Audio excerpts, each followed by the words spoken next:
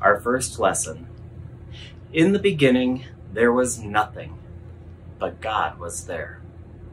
Let's read about how he created everything with his voice and his breath.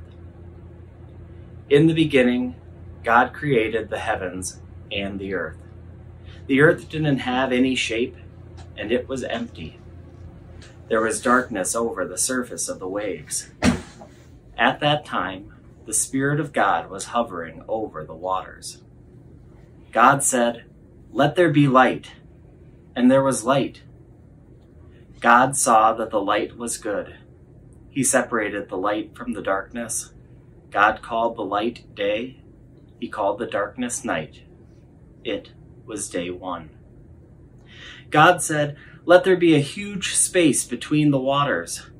Let it separate water from water. God called the huge space sky. It was day two. God said, Let the water under the sky be gathered into one place. Let dry ground appear. And God saw that it was good. God said, Let the land produce every kind of living creature. Let there be livestock, and creatures that move along the ground, and wild animals. God made every kind of animal, and God saw that it was good. Then God said, Let us make human beings so that they are like us.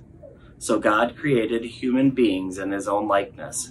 He formed a man, made him out of the dust of the ground.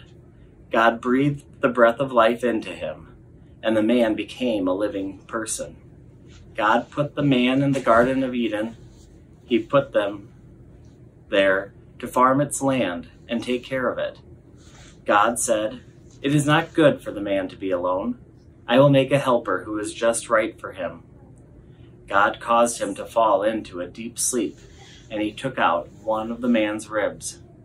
Then God made a woman. He made her from the rib he had taken out of the man, and God brought her to the man.